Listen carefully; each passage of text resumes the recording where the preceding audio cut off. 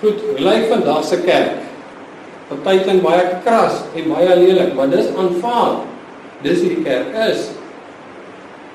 Baie verkondig dat saligheid slegs deur hulle kerk is.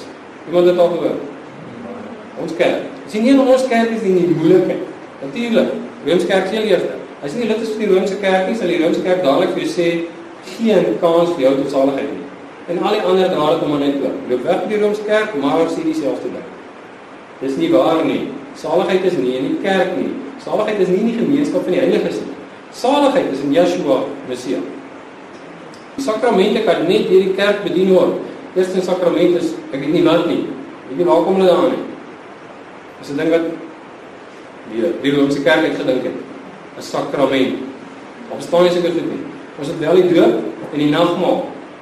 Maar dit behoort nie aan 'n organisasie nie. Dit behoort aan die lede van die liggaam van Messias. Ergerlike ene, leiers molesteer en verkragt kinders in hulle sorg. Dit gebeur vandag nie een of twee nie, ter duisende kinders. Daar duisende elke dag en dit word toegelaat. En mense sit binne in daai kerk en doen nog steeds wat hulle kinders sonnaarskool toe en gaan saam met die priester iewers terheen en hy kan kom 'n wrak terug. En dit word toegelaat. Was dit Messias se idee? Alles behalwe. Alles behalwe. Hoerery tussen priesters en nonne beraam op 50%. Dis wat hulle sê. In die Romeinse kerk 50% vir die nonne en die priesters. Dis al hoerery moet tog. Maar as hulle dit sê, dan jy maar weet, dis ek 90%. Nog 95%. En dit is dis die kerk. Dis die grootste kerk, dis die church. Nader aan ons, mans stry met mans en die kerk keer dit nie net goed nie, maar doen dit self. Wat is leliker as dit? Iets wat leliker as dit is? Wat viesliker as dit is? Waafliker as dit is? Mans stry met mans. En die kerk sê is reg. Wat sê Yeshua daarvan? Hy sê nooit, maar nooit. Sal sou ek iemand in die koninkryk van God oorgaan nie.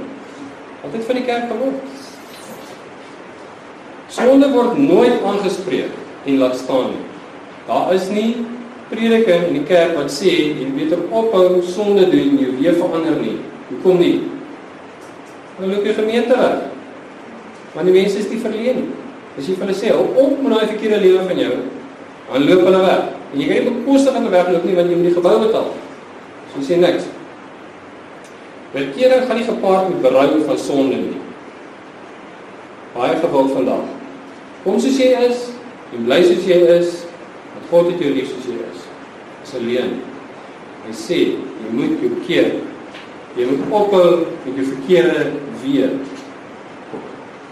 Want as jy aanhou met dit, het jy 'n nuwe keer en ek ken jou nie. En dan natuurlik wat die skrif sê, lede word net in die gehoor gestreel. Hulle 'n menigte van predikers van mekaar gemaak om hulle in die gehoor te streel. Sê vir my wat ek wil hoor. Die totale fokus van die kerk is die mens. Humanisme. Die evangelie gaan oor die mens. Wat kan God vir my doen? Wat het hy in my lewe beteken? Hoe het hy vir my voorsien? Hoe gaan hy vir my voorsien? Hoe gaan hy my suksesvol maak en my en my en my en ek en ek en ek en ek? Maar as ek gesterf het en in die graf is, saam met Messias, waarvan praat jy nou? Ek is dan 'n voorstel om dood te wees. Die evangelie gaan nie oor ons nie. Dit gaan oor hom. God se woord word verander en aangebied as dogma en stellings. Skus, hierdie is 'n liderlike lys. Dis nie lekker om te kyk nie. Maar elkeen is waar. Die evangelie kom as dogma en stellings. So as jy sê, hoe werk die Heilige Gees? Dan word die Bybel nie nader getrek nie, maar stellings om te sê hierso in 1424 is dit besluit. En in 18 soveel is dit en dis hoe die Gees werk. En dis wat vir ons aangebied word.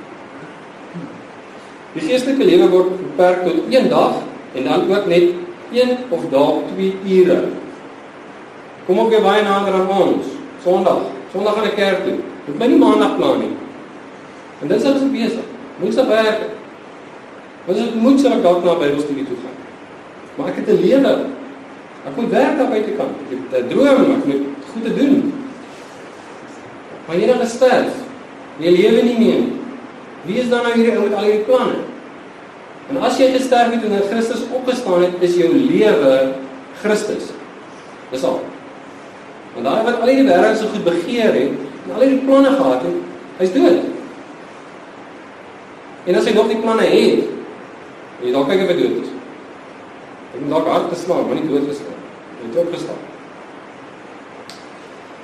Dit wat die prediker sê mag nie in twyfel getrek word nie. Miskien dit wat te goed, nee. As jy met iemand praat, jy haal die skrif uit, jy sê maar kyk hierso. So nee, ek sal met my predikant gaan praat en hoor wat sê hy. Nou, hierdie ironiese een, die kerk waaraan jy gebore word, is die enigste waaragtige kerk van Christus.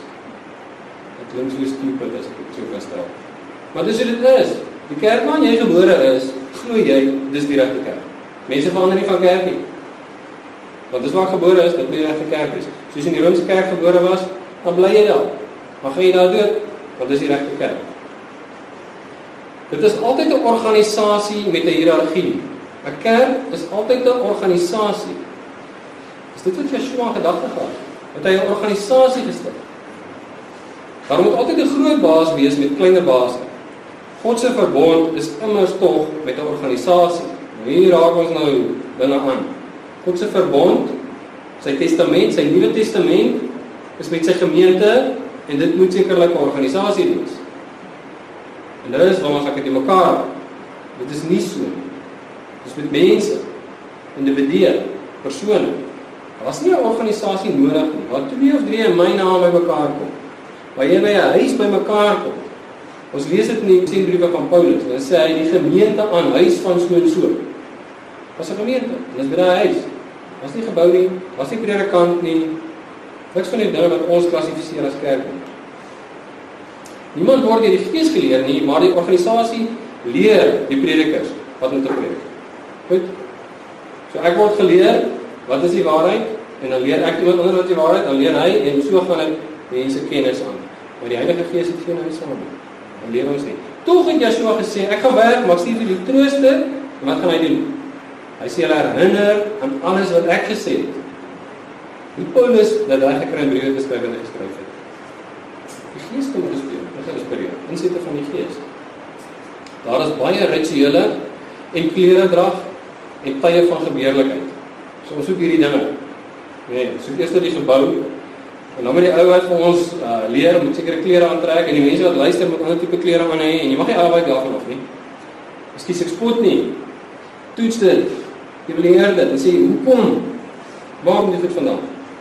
en sekere tye mag net so mag net so. En op daai tyd gebeur dit en daai tyd gebeur dit. Kry soveel as moontlik lede en hulle moet natuurlik finansiëel bydra. Geld. Die kerk kan mense vermoor en oorlog veroorsaak maar die mense verlaat nie die stelsel nie. Hoeveel mense is deur die Romeinse kerk nie vermoor nie dood gemartel. En almal weet dit en mense is nog steeds daar bespotting word gemaak van die werking van die Heilige Gees. Dan is baie beeldmateriaal wat jy kan sien van dit. Die bekendste daarvan is seker die Toronto Blessing. Absolute 'n gekke Paulus. En dan sê dit is die kerk. Sakramente is nie vir Christene nie, maar vir lede. Dis ook weer nader aan ons, net. Dis nie lid van die kerk nie, jy mag nie nagmaal saam met ons gebruik nie. Predikers is baie ryk as gevolg van die bediening en dit is goed in se oë. Dis die mense wat geld maak die kerk. Hulle is nie ryk nie. Hulle is skatryk. En hulle roem daar, dis God se seën wat my seën en dis hoekom ek so ryk is. So ek is nie dood nie. Ek het al hierdie geld. So ek is nie dood nie. Die kerk kan jou verwerp en dan sal jy hel toe gaan. OK, dis weer eens komende van die Romeinse kerk word geëkskommunikeer en die kerk sê vir jou jy gaan hel toe en daarom vrees jy om die kerk te